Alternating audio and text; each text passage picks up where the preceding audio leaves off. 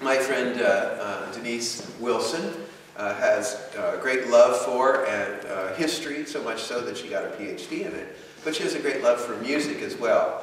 And she has created some wonderful things as a result of both those things. So I'm going to turn it over to Denise now and let her talk a little bit about that and share some of that with you.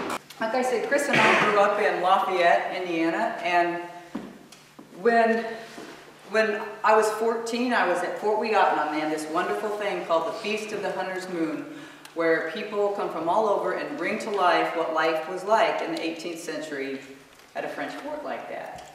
Up till then, like, who knew there were French in the Midwest ever? I hated history. I mean, if you would ask me, I would say I hate history. My most unfavorite topic. But when I was living it, when I was there and learning about it that way, I really started to have a love for it, even though at school I would probably still say I hate history. All different kinds of ways of playing my music, and usually mixing history with it. But along the way, I also learned to um, write some of my own songs. And like starting when I was 12 years old, I lied about my age so that I could corn detassel. So, but I did this with a couple of my friends, and my memory of it was kind of big fun. You know, we would sing, we'd make up songs, and so when I wrote this song, I was kind of at that place, kind of reflecting on what, what home meant to me, what, what my life here had been like. And this is, a, actually it's called Girl from the Cornfields is what I, what I called it. When I was a girl, I worked in the cornfields, up in the morning just before dawn.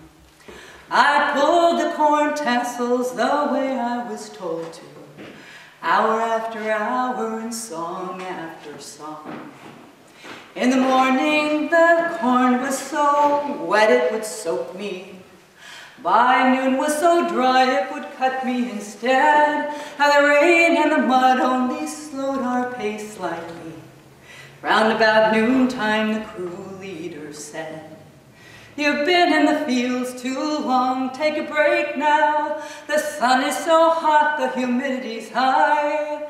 You go find your lunches, I'll fetch some cool water. We'd sit in the shade till a half hour passed by. And now as a woman I drive past these cornfields. They're part of a comfort of all that is home. For county. I've been glad to stay as I watch my friends go. And they said, You've been in Indiana too long, take a break now. The sun is so hot, the humidity's high. Go live in a new place, expand your horizons. I listened politely and then asked them why. But if a time comes when I move from these cornfields to follow my dreams or to make a new start, I'll keep Indiana inside me forever.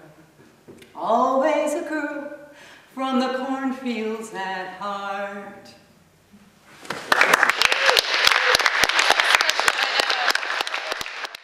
But I think one of the things I want to point out about uh, this is that uh, it is a song about history. It tells her history. And we oftentimes only think of history as something that's 100 years old or 50 years old or 1,000 years old. But in this case, it's so contemporary. And I think that thinking about history as a contemporary craft is important. Uh, people often term, use the term living history. And, and I, I, know, and I worked in, uh, for museums and things for many years. And I always thought that was a funny expression, living history, as if with every step you take, history is kind of following along behind you.